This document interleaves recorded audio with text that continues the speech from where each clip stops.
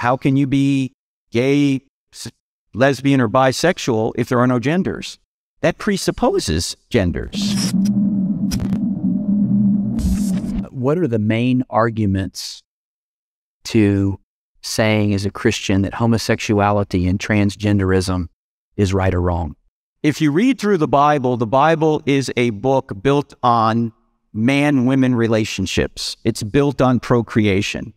And obviously, when you have relationships that either don't do that or do that in a way that can bring a lot of pain and suffering, whether it's polygamy, whether it's adultery, whether it's fornication, the Bible is going to come out against that because it goes against the purpose as to why we're here. From a natural law perspective, when you look at the the man and the women together, obviously man and women are put together to procreate. The only thing a man and a woman can't do alone is procreate.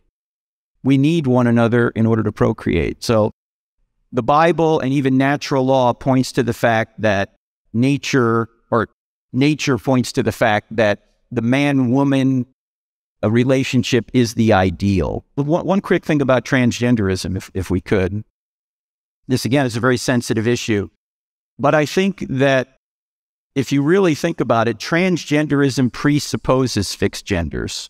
Why? Because if I'm a man biologically, but I think I'm a woman mentally, then I have to have some idea of what a man is and some idea of what a woman is to know there's a difference, to know there's a mismatch.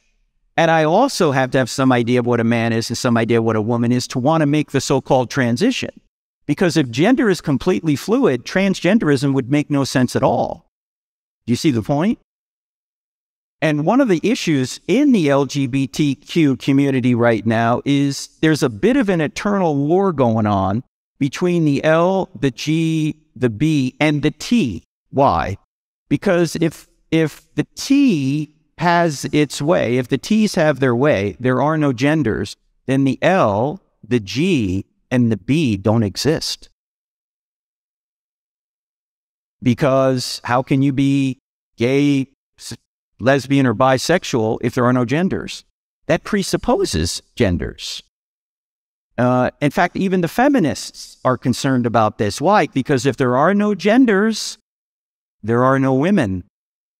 And if there are no women, there are no women's rights, which is why J.K. Rowling, the author of the Harry Potter series, is sticking to her position that if you're going to say gender is fluid, you've just ruled women out of existence, and she won't stand for that. Guess what? She's right.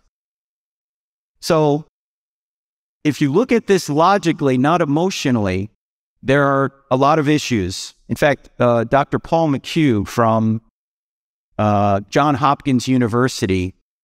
He's a psychiatrist, likened transgenderism to anorexia. He says if there's a mismatch between your mind and your body, which is what happens in gender dysphoria, and what also happens in uh, anorexia, we don't try and affirm the person's psychological state. We tell them that their psychological state doesn't align with reality. We try and fix them psychologically. We don't try and fix them with surgery. We would never say to an anorexic, you know, you're right, you're overweight, let me give you liposuction. We would say, no, that would be harmful. If there is a mismatch between your mind and your body, you fix that problem with psychiatry. You don't fix a, a mental issue with surgery. Yet that is what many in our culture want to do.